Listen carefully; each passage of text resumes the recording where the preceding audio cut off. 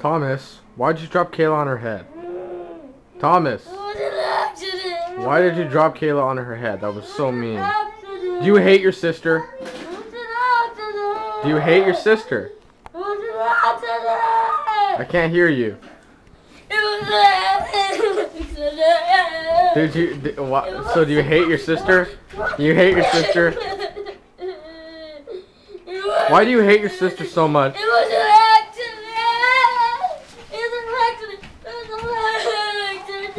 Thomas, are you breakdancing? You just slam your face into the wall. Thomas, do you hate your sister?